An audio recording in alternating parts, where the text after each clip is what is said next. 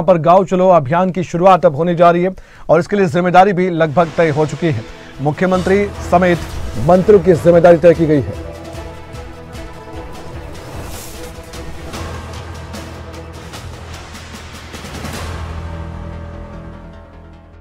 बता दें कि मुख्यमंत्री समेत मंत्रियों की ज़िम्मेदारी तय की गई है। 9 से 11 फरवरी तक बूथ स्तर पर 24 घंटे नेता बिताने वाले हैं। लोकसभा चुनाव को देखते हुए यह निर्णय लिया गया है। मुख्यमंत्री पुष्कर सिंह धामी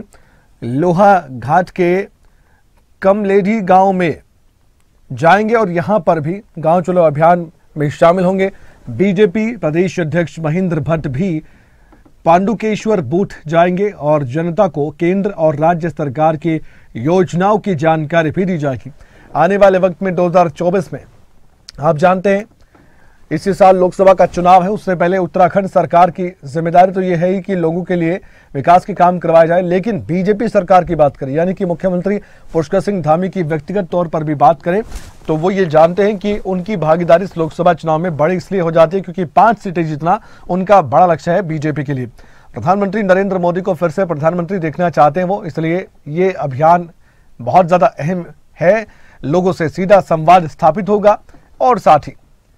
ग्रामीण आंचल के लोगों से सरकार सीधे भी जुड़ जाएगी, जिससे कि उनकी समस्याएँ वो पता लगेगी और फीडबैक भी सरकार ले पाएगी कि आखिरकार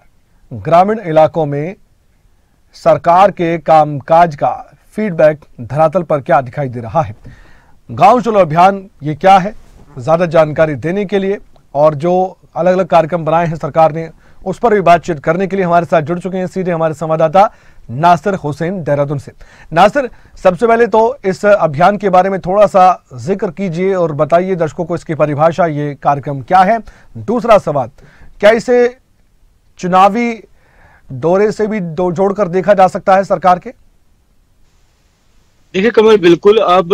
बीजेपी चुनाव को देखते हुए बहुत सारे कार्यक्रम का आयोजन कर रही है और इन कार्यक्रम की जो प्रोग्राम है वो तय हो गए हैं और कब कब क्या क्या कार्यक्रम होने हैं तमाम अब जो कार्यकर्ता है, जिन लोगों की ड्यूटीज़ इन कार्यक्रमों में लगाई गई, उनको बता दिया गया है।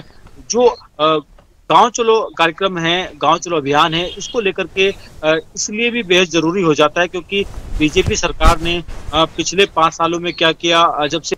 बीजेपी की उत्तराखंड सरकार में उत्तराखंड दोबारा सरकार बनी है, तब से अब तक क्या किया किन किन लाभार्थियों को लाभ मिला और उन लाभार्थियों को क्या सरकार जिस तरीके से चाहती है, उस तरीके का लाभ मिल पा रहा है या नहीं मिल पा रहा है और साथ ही साथ उन लोगों को अपनी पार्टी से जोड़ने के लिए भी क्योंकि लोकसभा चुनाव नज़दीक है, ऐसे में जनता को कितना लाभ मिल रहा है और उस लाभ का,